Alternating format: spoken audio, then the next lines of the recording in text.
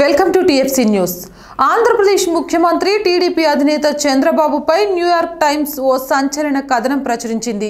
సేంద్రియ సాగు కోసం చంద్రబాబు తీసుకున్న చర్యలపై ఓ ఆర్టికల్ రాసుకొచ్చింది న్యూయార్క్ టైమ్స్.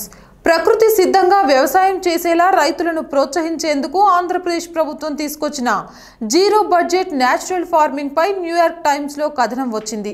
రసాయనేతర వ్యవసాయానికి ముందడుగు వేసిన చంద్రబాబు కృషిని ప్రశంసించింది.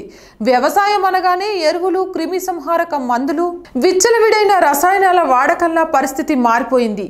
ఈ తరహా సాగుతో దిగుబడి సంగతి ఎలా ఉన్నా పర్యావరణంపై అది తీవ్ర ప్రభావం చూపుతోంది. విచ్చలవిడి రసాయనాల వాడకంతో రైతుల ఆరోగ్యం కూడా దెబ్బతింటుంది.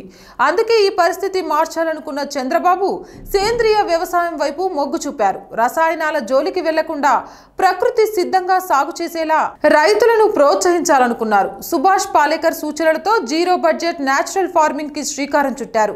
రైతు సాధికార సమితిల సాయంతో రైతులను సేంద్రియ సాగు వైపు మళ్ళించారు. తక్కువ కాలంలోనే ఏపీలోని రైతు రైతులు జీరో బడ్జెట్ న్యాచురల్ ఫార్మింగ్ వైపు మొగ్గు చూపారు. ఏపీ రైతులను ప్రకృతి సిద్ధమైన సాగు వైపు నడిపించిన చంద్రబాబు కృషిని సర్వత్రా కొనియాడుతున్నారు. ఇప్పటికే దీనిపై ఐక్యరాజ్య సమితి పర్యావరణ విభాగం ప్రత్యేక కథనం ప్రచురించింది. దేశంలోనే ఏపీ మొట్టమొదటి zero budget natural farming state అంటూ కితాబునిచ్చింది. ఐక్యరాజ్య సమితియే కాకుండా న్యూయార్క్ టైమ్స్ లోనూ సీఎం చంద్రబాబు నాయుడు నూతన విధానంపై ప్రత్యేక కథనం వచ్చింది. వ్యవసాయానికి ప్రకృతికి చేరువ చేయాలంటూ వెలువడ్డ కథనంలో ఏపీ గురించి ప్రత్యేకంగా ప్రస్తావించారు. అంతేకాదు సీఎం చంద్రబాబు కృషిని కొనియాడారు.